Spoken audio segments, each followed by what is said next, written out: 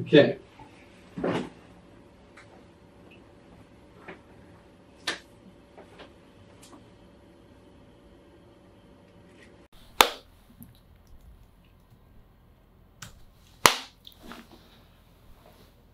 Backup, backup, backup. So, like many of you, I haven't been doing a fantastic job of keeping my data. I documented it here on my blog, and basically the short version is I stuff that I like to share. I, I upload it to a, a bucket, s.natalian.org, and I share it like that. Otherwise, I have a FreeNAS back over there, and I back up all the photos that I typically don't share on the internet and the videos, all the sort of like stuff that doesn't make it up there. I I just dump it on my FreeNAS. So my free FreeNAS has uh, in, in its red Samba share, that's where I put stuff. Uh, oh my gosh, can you read that? I think it's just easier if I just SSH in and go DFH. So red Samba here, there's about three terabytes that have historically not been backed up. And I did try a couple of things. Um, I think B2, but it was just too slow. I investigated DigitalOcean, I think. Ultimately, it seemed the best way to back up was using AWS. And I did some back of the napkin calculations and I thought uh, this shouldn't be so bad. And I think it's manageable. The thing that really caught me off guard was like, the, the, there was like a big spike. And I looked at the charges and it was basically Glacier requests. So, oh my gosh, where do I begin? So my S3 bucket has a life cycle.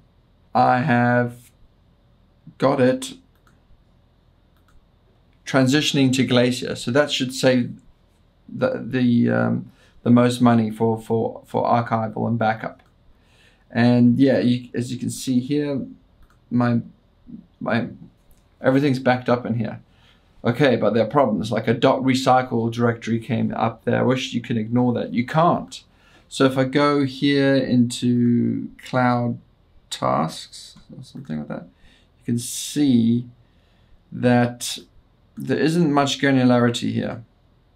Um, you can't ignore, say, the dot recycle directory. So there's a few gigs in there that I have to somehow pull out. And also, there's sometimes like these weird failures. Um, I have no idea why. Like, for example, since the files that are synced up to S3 turn into Glacier, sometimes for one bizarre reason or another, it, uh, now I get failures that it wants to set the modification type operation is not valid on the source object source files. So, so basically what, what it's saying is that once, once it's got into Glacier, it's trying to update the modification time. I have no idea why. I mean, I don't think I've, up, I've used this directory I might have um, accessed it with um, with Final Cut Pro 10, and I guess yeah, now the modification time has changed locally on my FreeNAS, and now it's having difficulty syncing it up to Glacier. I thought what would happen was that since I use, I have uh, versioning on, that if something like this, like a modification happened locally and then it got synced up, then there'd be two versions, but evidently not. But anyway, it's interesting to see the files that modify. Like typically I keep everything in this year, month, day, and things actually shouldn't modify. Anyway, going back to pricing this whole damn thing out, I think it's a manageable cost.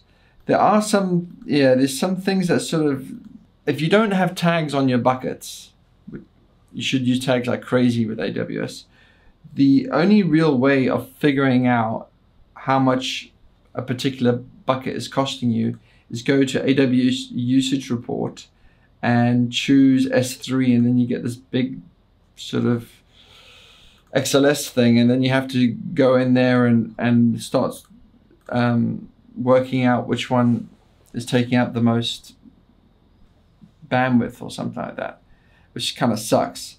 I kind of hoped the um, the Cost Explorer could do it, but I don't really get the, the visibility with Cost Explorer until I'm start I'm start using tags.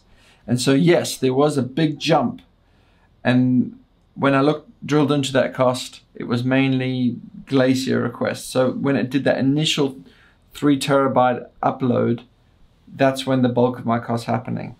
And my S3 costs up have gone up otherwise.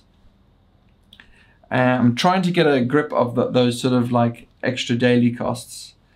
But yeah, any tips, guys, do let me know. But anyway, I mean, now I have my FreeNAS, my local storage all backed up now. I've got this sort of warm, fuzzy feeling. I don't want to pay 50 bucks a month for this privilege, but it's fast and I know S3 is very reliable, so I'm, I'm, I'm rolling with it for now. I'm rolling with it. Um, I'm going to share how I sync things up from my, my MacBook over here.